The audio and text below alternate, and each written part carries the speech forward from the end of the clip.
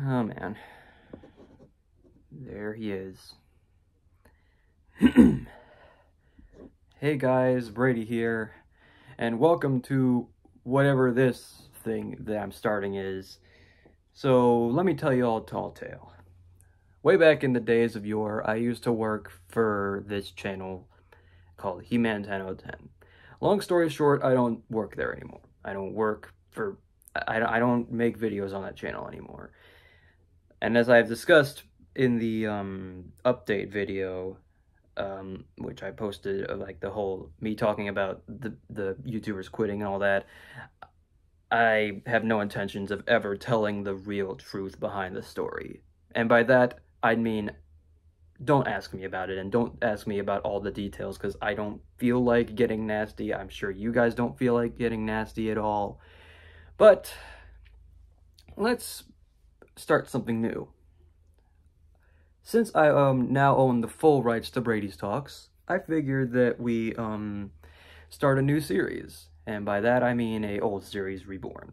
Welcome everybody to Brady's Talks Rebooted, where I review certain games again, and sometimes new stuff too.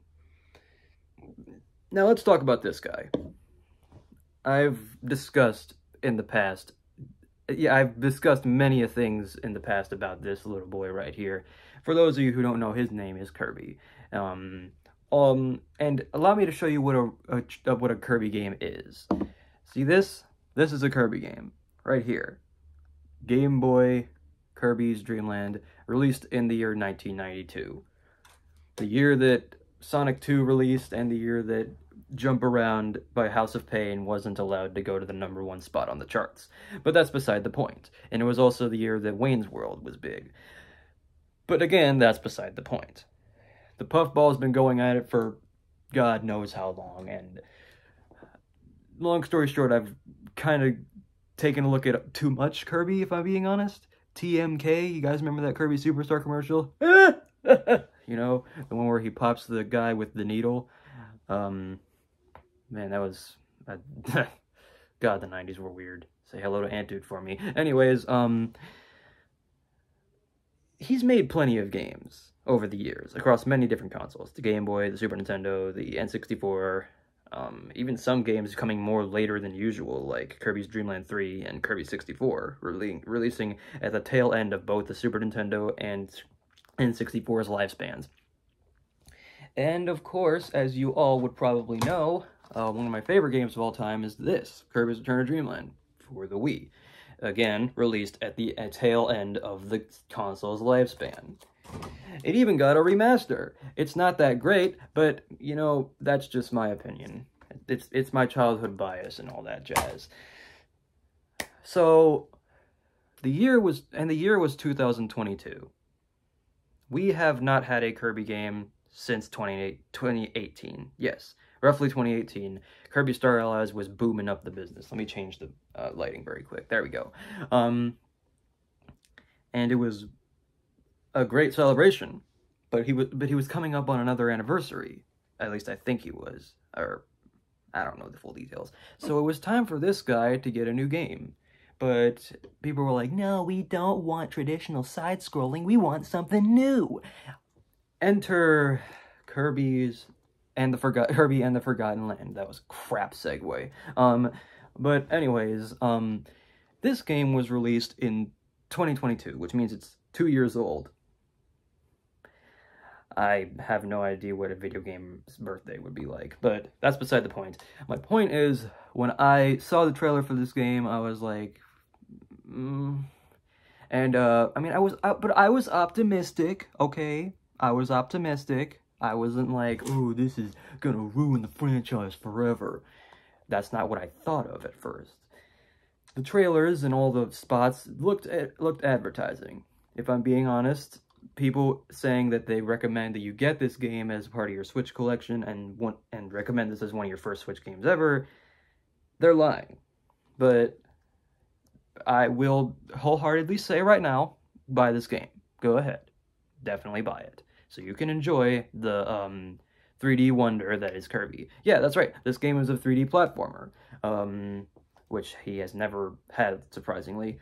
Um, I mean, I guess you could count the um, getting off an air ride and city trial, but who doesn't? But uh, yeah, so now Brady, now you're probably wondering, Brady, what's your opinion on Kirby and the Forgotten Land? I don't like it. Okay, here's here's the here's here's here's my here's my full analysis.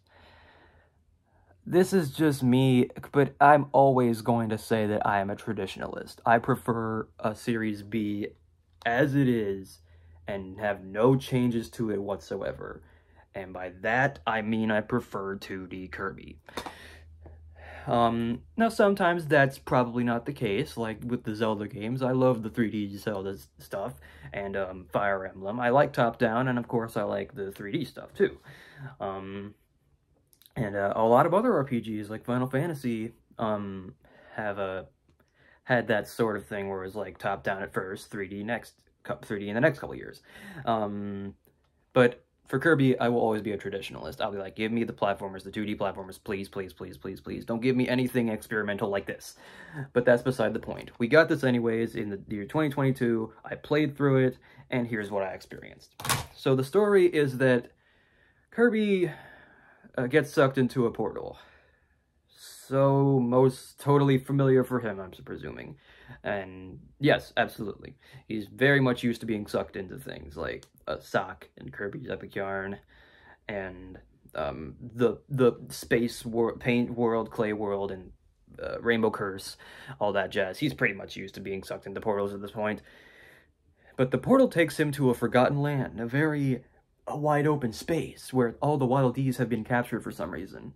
And Meta Knight or Dedede, they're not anywhere to be found. Um, at least not yet. Um, and so it's up to Kirby to save the day, and he meets a new friend. I believe his name is Elfilin? I don't, I don't, uh, you, you forget things. Um, but yeah, I'm pretty sure that's his name. Um, and so it's a 3D platforming escapade in order to save the day, beat all the bosses, and presumably stop whatever's going on in the far regions of the Forgotten Lands. And the gameplay is fun. I will say the gameplay is very fun. Even if I said that the game is not good, I still enjoy the gameplay. All the abilities are here and accounted for, at least some of them. And the thing is, when you come to a certain point, you can upgrade those upgrade those abilities and have better, stronger attacks and all that jazz. Including some new abilities, include, uh, yeah, include, sorry, including new abilities such as the drill power-up and Gun Kirby, or as I believe the game uh, says it is, uh, Shooter Kirby. He's dressed as a miner, miner, a miner, and he's um, shooting things. Happy times. Um, you could have called it Archaeologist Kirby and gave him a whip. And then, you know, I that'll actually get me interested in seeing the fifth Indiana Jones movie. Um, now, how about the boss battles? They are very hard, to be honest. If, if, if, if, if listen, if you want this to be your first Kirby game, don't, no, do not do that. Go Get Return of Dreamland Deluxe on the Switch, please do. Or if you can, find the Wii version, because, ooh, this is like one of the hardest games in the series, and I mean it. Like, all the boss battles are insanely difficult. They're cakewalks when you get around to being um, ex an expert at this game, but believe me, I didn't play this game on hard mode, and I still got my ass kicked. Believe me, just they're just they're just not great bosses, and uh, they're not even great looking either. There's a gorilla, there's a cat, and there's a very ugly um, armadillo creature, and um, uh, yeah, happy days. Um, there's also a hub world, Waddle Dee Town, which you get to go and set upgrade set abilities, and um, check out Kirby's house, which has also been transported to the Forgotten Lands. Um, now let's talk about the worlds. There's many worlds to explore, including the grasslands, the desert, the a carnival area, which is a little too ambitious for my taste, but okay. There's also um, the snow world and uh, another desert world, I think. Um, you also get to explore Lava Land as well. And at one point, you'll also go to a mall. Hell yes, teenagers. No, hell no, teenagers, stop. Okay. What do you say we uh, skip all the unimportant stuff and get to the final battle? Of course, with um, my abridged style of reviewing video games, I of course have to take a look at the boss in at like the 10 minute at the 10 minute mark, I believe. Um, so let's do this. Spoilers, three, two, one. Dedede is in a factory, um, and he is tribal, and apparently he again they changed his design because I don't think they could find a design for this feller. Um, so you so you beat him up and you go up an elevator as someone says, "Welcome to the future." Like um, and, and on the speakers, it's like, "Welcome to the future of robotic technology. You're about to enter a brand new world."